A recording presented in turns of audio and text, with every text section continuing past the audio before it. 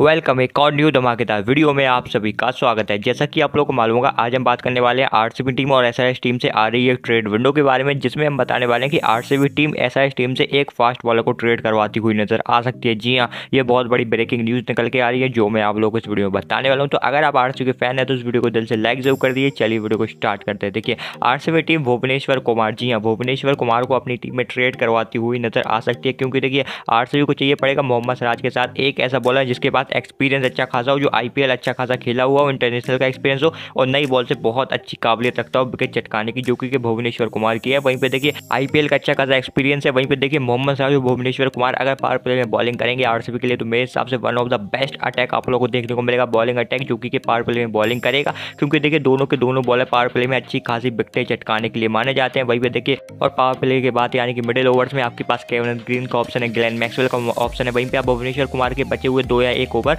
आराम से middle overs में खत्म करवा दीजिए, उसके बाद आप देखिए विजय कुमार आकाशदीप में से एक को खिलाओगे खिलाओगे। और डेथ ओवर की बात आएगी तो मोहम्मद सराज और वहाँ पे अलियारी जोसेफ, यानी कि एक किसी ओवरसीज फास्ट बॉलर को आप खिलाओगे तो उसमें से आराम से आप देखा जाए डेथ बॉलिंग निकाल सकते हो अपनी। तो मेरे हिसाब से अच्छा खासा बॉलिंग अटैक देखने को मिलेगा। और भुवनेश्वर कुमार लो ऑर्डर में बैटिंग का भी ऑप्शन देते हैं। देखा है रिसेंटली इतनी ज़्यादा फॉर्म इसलिए नहीं रही है क्योंकि देखिए इंटरनेशनल क्रिकेट अब खेला नहीं उन्होंने। क्योंकि देखिए अब देखा जाए तो इंडिया आगे बढ़ चुके हैं भुवनेश्वर कुमार से और अच्छे अच्छे प्लेयर को वो ग्रूम कर रहे हैं, जैसे कि लाइक मोहम्मद सराज हो गए अर्षदीप सिंह हो गए आविश खान हो गए तो मतलब नए प्लेयर को उन्होंने ग्रूम करना स्टार्ट कर दिया है तो मेरे हिसाब से अब वो आराम से आईपीएल में अपना फोकस करेंगे। भुवनेश्वर को और अच्छी खासी परफॉर्मेंस दे सकते हैं, क्योंकि देखिए मोहम्मद शमी की भी अच्छी खासी परफॉर्मेंस निकल के आई है तो मेरे हिसाब से भुवनेश्वर कुमार का भी एक ऐसा सीज़न आएगा, जिसमें वो अच्छे खासे विकेट लेंगे। लाइक मोहम्मद शमी का जैसा सीज़न किया था दो हज़ार तेईस का वैसा उनका सीज़न आ सकता है तो ये ट्रेड भी हो सकती है। इसकी चांसेस बहुत ज़्यादा है, ये अपडेट निकल के आ रही थी, जो मैंने आप लोग को इस वीडियो में बता दिया। अगर वीडियो अच्छी लगी तो वीडियो को लाइक कर देना। मिलते हैं एक और नहीं धमाकेदार वीडियो में।